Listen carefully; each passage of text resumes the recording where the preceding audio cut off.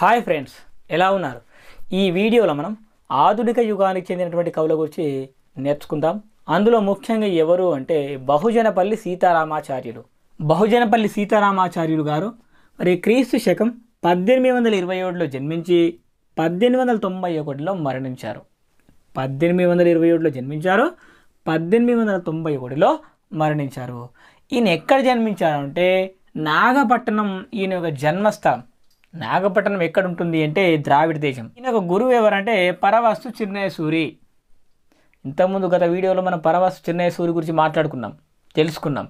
మరి ఆ పరవస్తు చిన్నయ సూరి మరి బహుజనపల్లి సీతారామాచార్యుల యొక్క గురువు అంట ఇక తర్వాత వాక్య లక్షణాల గురించి ఈయన చెప్పడం జరిగింది. వాక్యానికి మూడు లక్షణాలు ఉంటాయని చెప్పిండు. ఆ మూడు లక్షణాలు ఏంటి అంటే ఒకటి యోగ్యత ఆకాంక్ష ఆసక్తి. ఆసక్తి అంటలేని ఆసక్తి అంటే ఇంట్రెస్ట్ అది వేరు. ఇది ఆసక్తి ఇది వేరు అన్నమాట.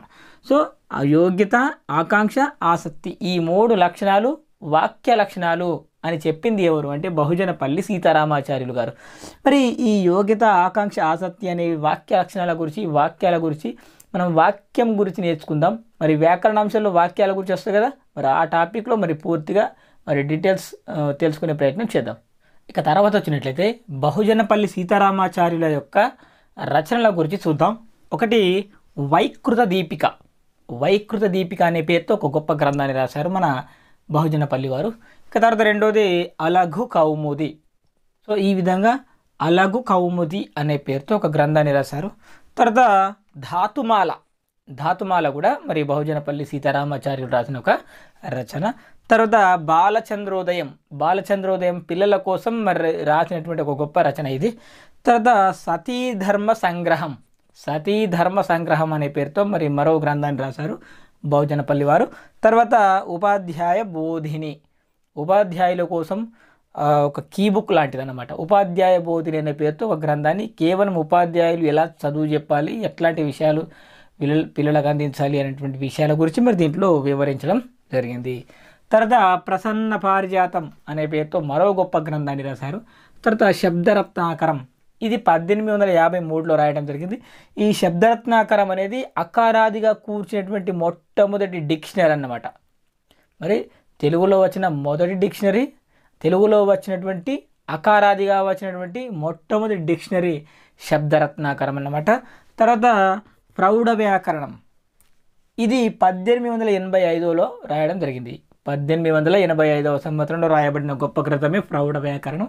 మరి ఈ గ్రంథము బాల వ్యాకరణానికి పూరణ గ్రంథం లాంటిది. బాల వ్యాకరణం ఉంది కదా మరి దానికి పూరణ గ్రంథం లాంటిది మరి ప్రౌఢ వ్యాకరణం.